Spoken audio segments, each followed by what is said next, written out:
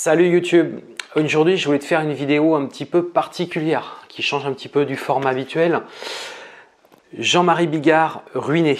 Je ne t'apprends rien, tu as dû voir ça sur les réseaux sociaux, tu as peut-être dû voir ça également donc, sur nos chaînes euh, sur BFM ou sur d'autres chaînes de télévision. Donc euh, Jean-Marie Bigard s'est exprimé sur plusieurs plateaux en expliquant qu'il était totalement ruiné. Et pour moi c'est c'est tellement, ça veut dire tellement de choses cette phrase. Euh, il faut savoir justement l'interpréter et savoir euh, qu'est-ce que ça signifie derrière euh, concrètement. Hein, Jean-Marie Bigard fait partie donc des plus grands humoristes donc actuels.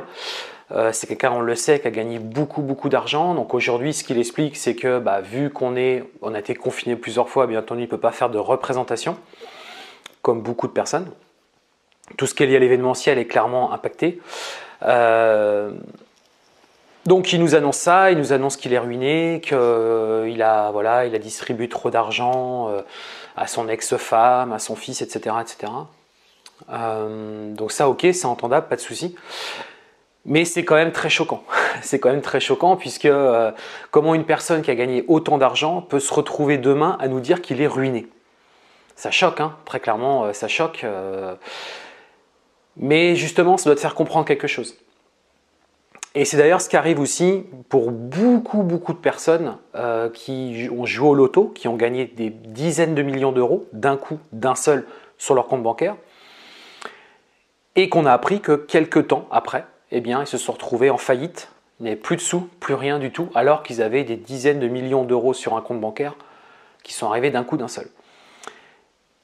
Ce qui se passe, et c'est ce qui s'est passé pour euh, bah, clairement Jean-Marie Bigard et pour toutes ces personnes qui se sont retrouvées euh, eh bien ruinées, comme ils l'annoncent, hein, c'est eux qui l'annoncent, hein, moi j'invente rien, c'est juste ce que eux reflètent et ce qu'ils expliquent euh, au grand public. tout simplement, ce que ça reflète, c'est qu'ils n'ont pas, ils n'ont pas eu cette éducation financière.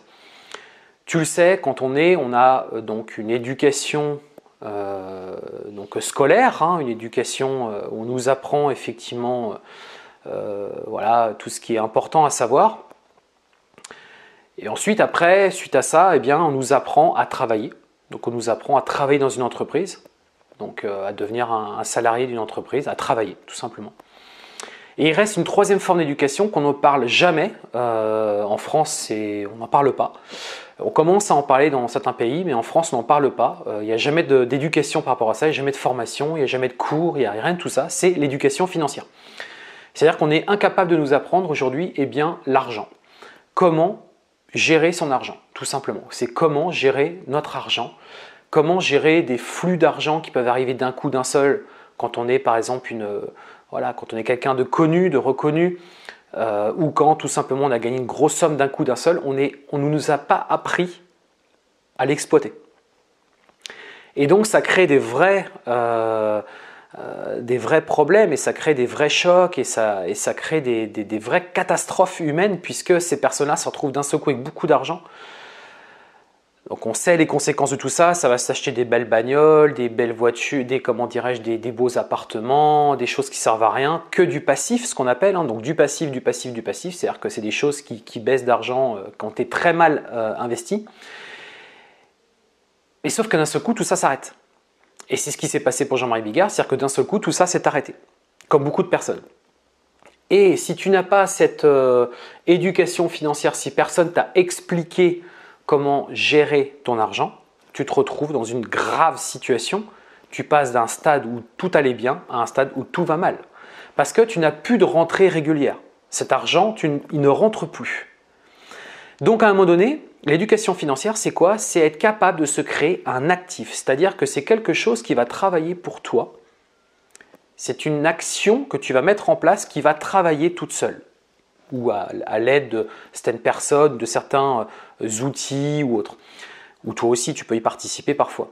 Mais l'idée, c'est que cette action, en fait, va travailler de manière assez mécanique et va te créer donc un actif, c'est-à-dire que l'argent va travailler pour toi. C'est pas l'inverse. C'est pas toi qui vas être obligé de travailler pour aller chercher cet argent. C'est l'inverse. C'est-à-dire que c'est l'argent qui va venir à toi. Tu auras certes travaillé au départ, tu auras mis en place des choses, mais ces choses-là vont ensuite te permettre eh bien, de générer de l'argent tous les mois, tous les mois, tout le temps et qui donc vont te permettre eh bien, d'avoir une certaine assise Tu peux t'asseoir confortablement.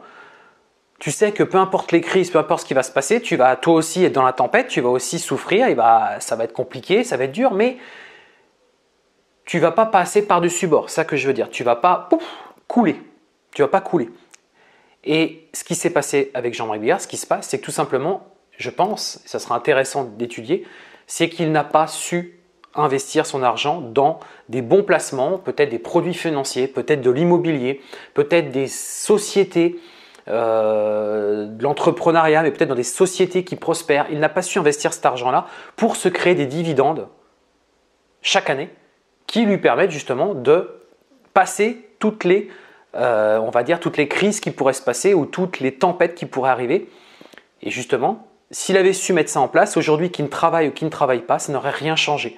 C'est-à-dire qu'il aurait toujours son toit, il aurait toujours de quoi manger, il aurait toujours sa voiture, et il n'irait pas sur un plateau, justement, annoncer qu'il est ruiné.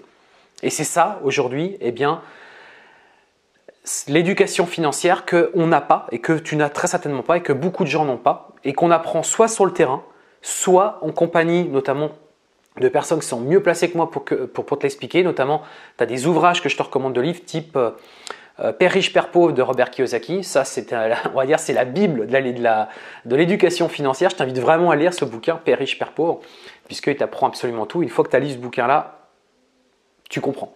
Et moi, je l'ai lu et j'ai compris beaucoup de choses.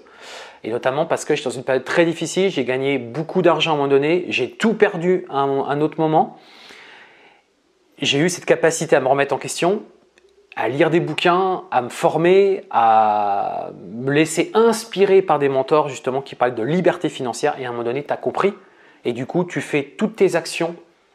Toutes mes actions que je fais aujourd'hui sont justement uniquement dans ce principe-là, me créer des actifs, un maximum d'actifs pour que justement, dans quelques temps, eh bien, je sois vraiment libre financièrement et que je puisse eh bien, profiter de ma vie et peu importe les tempêtes, comme là il y a eu des tempêtes cette année, ça ne m'a pas du tout mis à genoux, absolument pas, absolument pas.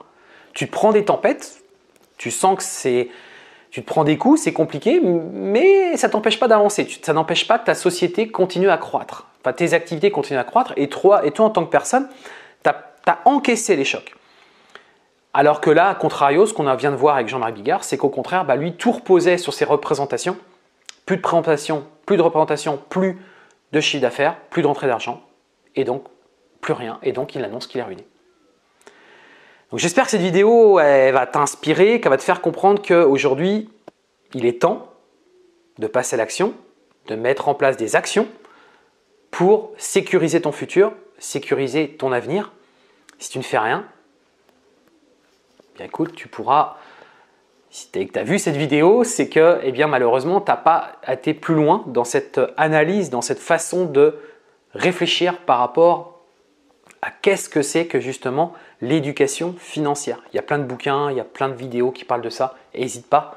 Et ça va te faire comprendre que notamment l'immobilier, notamment l'entrepreneuriat, eh bien, te permettre, te permettre justement d'aller dans ce sens-là et de mettre en place des actifs qui vont travailler pour toi. Tout ce que tout ce, que, tout ce qui a été dit à travers les plateaux, c'est parce qu'en fait, il y a eu beaucoup de passifs, beaucoup, beaucoup, beaucoup, et les passifs, malheureusement, ça ne rapporte pas d'argent, au contraire, ça ne t'en fait que perdre. On a terminé, n'hésite pas à commenter, n'hésite pas à rajouter des choses qui te semblent importantes dans cette vidéo, n'hésite pas à la liker aussi, n'hésite pas à la partager à tes amis, à des personnes à qui ça pourrait aider dans le mindset, dans la façon de, de réfléchir, euh, de, de, de voir ton avenir. N'hésite pas à la partager, n'hésite pas à la commenter, c'est vraiment important. Euh, que toi aussi tu me un petit peu qu'est-ce que tu mets en place, en, qu'est-ce que tu as mis en place en 2020, qu'est-ce que tu vas mettre en place en 2021, en 2022, etc.